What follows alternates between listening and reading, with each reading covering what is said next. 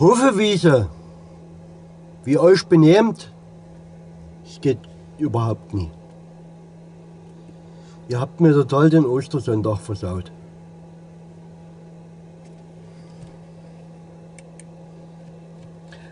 Als Kind in den 70ern war dieser Biergarten mein absoluter Lieblingsbiergarten. Lag allerdings mehr an dem Hockeyautomaten, der hier stand, als an der Lokalität selber. Während meine Eltern hier saßen und ein Bier tranken, konnte ich immer schön mit anderen Kindern an dem Spielautomaten da spielen. Die hatten so einen Hockeyautomaten dort stehen, wo man so drehen konnte. Da haben sich da drei Figuren gedreht und eine Stahlkugel dort drin rumgeschleudert. Waren eigentlich immer ganz gute Spiele. Während meine Eltern hier aßen und ein Bier tranken, konnte ich immer schön mit den anderen Kindern an dem Spielautomaten spielen. Ein Groschen von meinen Eltern wurde da meistens auch zugesteuert. Auch seit der Neueröffnung vor ein paar Jahren hat mich ab und zu eine Wanderung oder Fahrradtour hierher geführt, wo ich eigentlich auch immer ganz gern mal saß.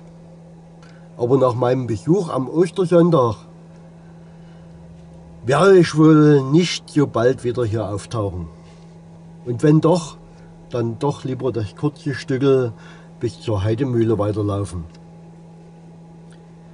Wir sind gestern am Ostersonntag gegen 12.30 Uhr mit neun Personen hier angekommen.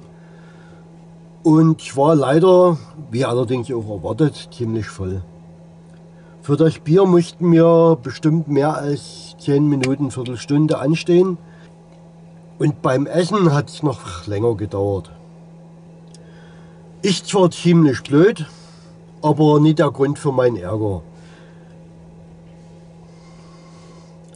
Wir hatten dann alle ein Getränk und etwas zu essen. Und einer hatte sich nichts geholt. Dadurch, dass der uns aber essen sah, hat er dann natürlich auch Hunger gekriegt und packte eine kleine Schüssel mit, mit mitgebrachten Kartoffelsalat aus. Muss nicht sein, aber zum Anstehen wäre das zu lange gewesen. Es stand plötzlich ein Mitarbeiter von dem Biergarten, der sich leider nie vorgestellt hat, hinter ihm und sagte, er soll das lassen. Das hat er aber gar nicht so richtig mitgekriegt, weil da stand er hinter ihm und angeguckt hat er die Frau da gegenüber und sagte in einem Tonfall, so wie raus her. Also so ungefähr kam das rüber.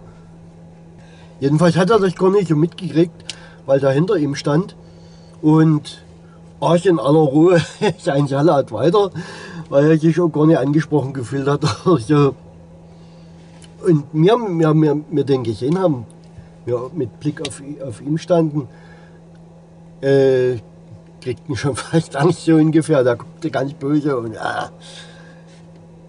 Ja, und nachdem der gemerkt hat, dass der weiter ist, ist er total ausgeflippt. Ich hatte eigentlich schon gedacht, der wird handgreiflich oder sowas. Ganz böse sagte er, wir sollen abhauen, sonst ruft er die Polizei. Lass die Hunde los!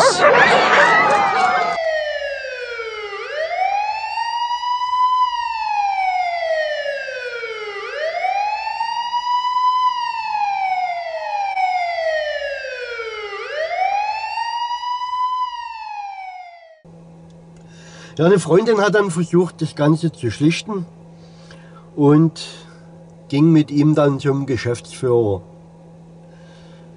Als sie nach ein paar Minuten wiederkam, verließen wir dann trotzdem ziemlich schnell und frustriert das Lokal und machten dann eine zweite größere Rast im Biergarten an der Heidemühle. Hier war nicht so viel los, wir brauchten nie anstehen und hatten wenigstens dort noch eine schöne Zeit. Ich jedenfalls werde mich so bald nie wieder in der Hofewiese sehen lassen. Die gerade mal zwei Kilometer bis zur Heidemühle, die sind ja nun wirklich nie weit zu laufen. Schade.